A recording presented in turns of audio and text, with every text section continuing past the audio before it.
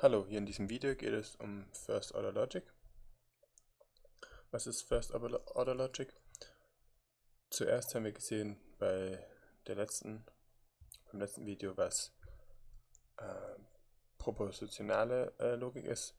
Und das wollen wir jetzt erweitern, dass wir sozusagen nicht nur so Elementaraussagen machen können, sondern äh, kompliziertere, kompliziertere Sachen sowie äh, echte Sprache. Und dafür haben wir Objekte, wie zum Beispiel äh, Menschen, Häuser, Nummern ähm, und so weiter. Und wir haben äh, Relationen, zum Beispiel das Haus ist rot, ähm, die Nummer ist groß oder irgendjemand ist ein Bruder oder hat irgendeine Eigenschaft oder und so weiter. Und dann haben wir Funktionen, die sozusagen ähm, unsere Objekte wieder zurückgeben. Zum Beispiel ähm, der Vater von, bester Freund von und so weiter. Dann kommen wir zu der Syntax.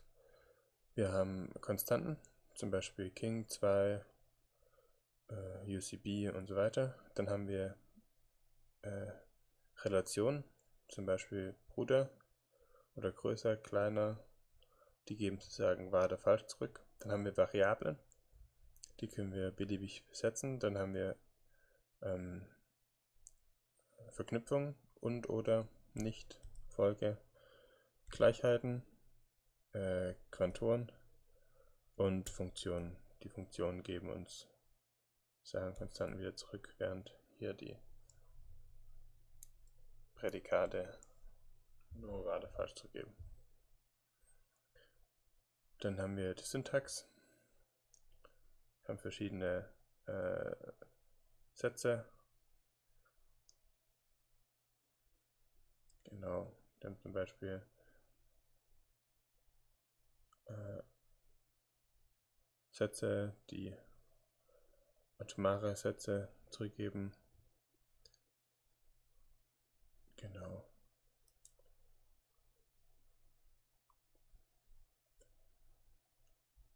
Dann kommen wir zu unseren äh, Quantifiers. Es gibt den Universal, also den für alle gilt und die Syntax ist sozusagen für alle, dann Variable, dann Satz. Ein Beispiel ist zum Beispiel äh,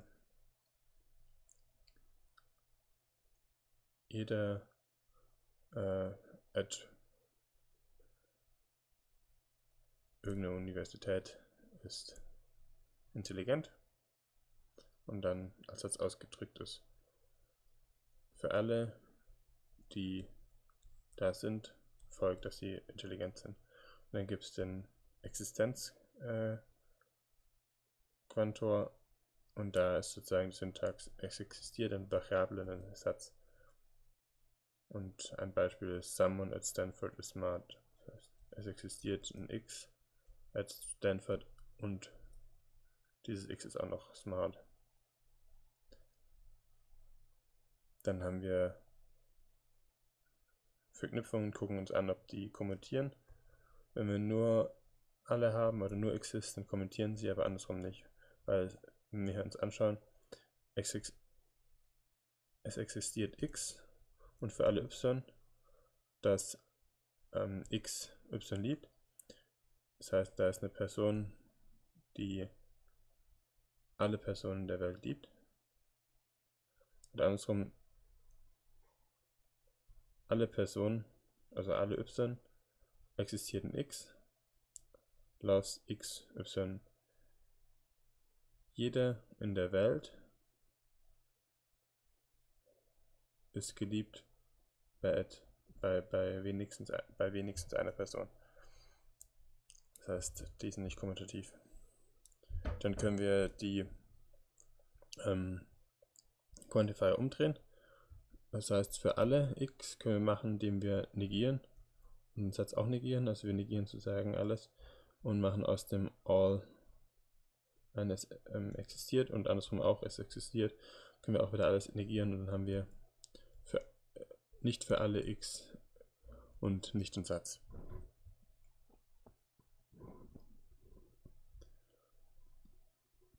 Jetzt wollen wir auch von der First Order Logic Verhalten herausfinden. Wir haben ähm, unsere Sätze und ein Modell und jetzt wollen wir sagen,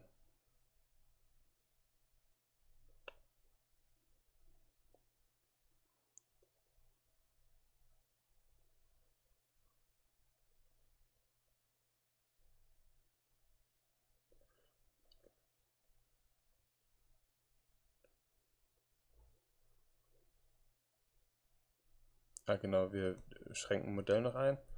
Ähm, Modell muss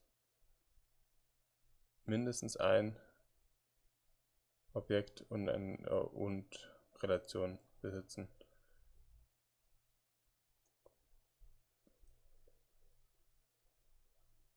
Genau.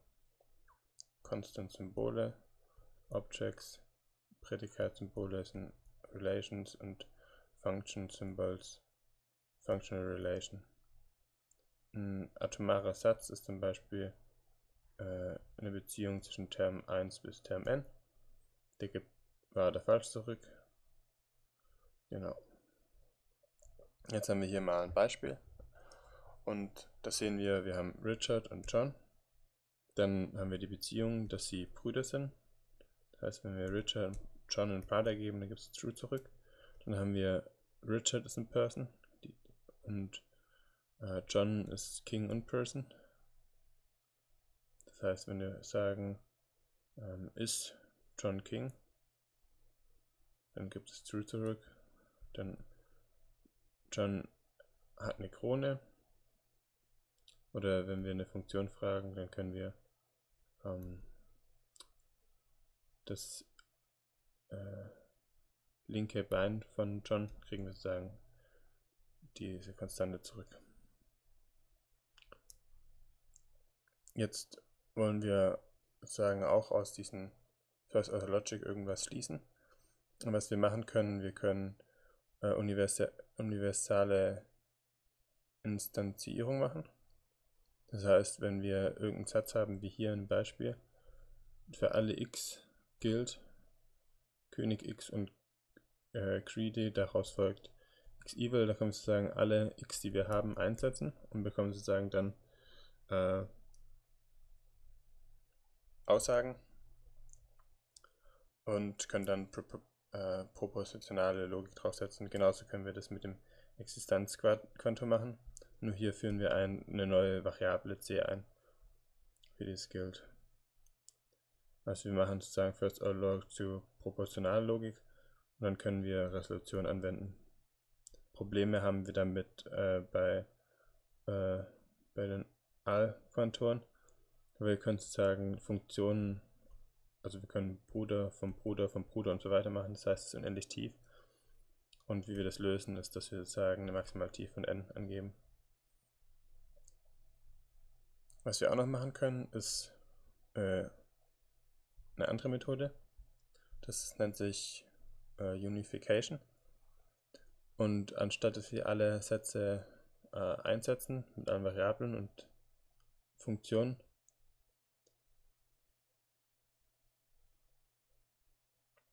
äh, machen wir es anders. Und wir machen das so, dass wir ähm, Variablen ersetzen. Also wir setzen ineinander ein.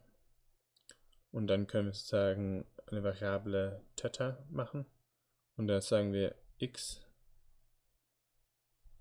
John, Y, John. Also wenn wir zwei Sätze haben, einmal das äh, äh, aus For All Kings and uh, Greedy folgt, dass Evil ist. Du kannst sagen, äh, gucken, dass äh, John König ist und äh, jeder König ist also, wir können es sozusagen so passend ersetzen, dass es funktioniert.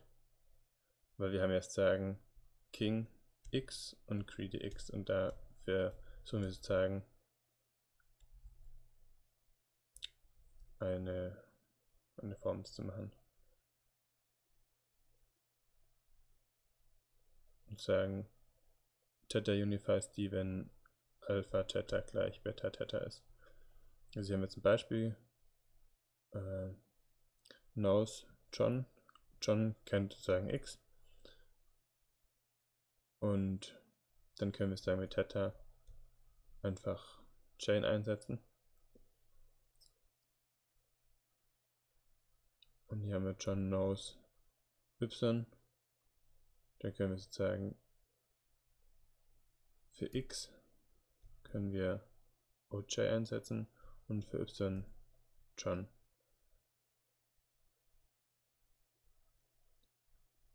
Genau.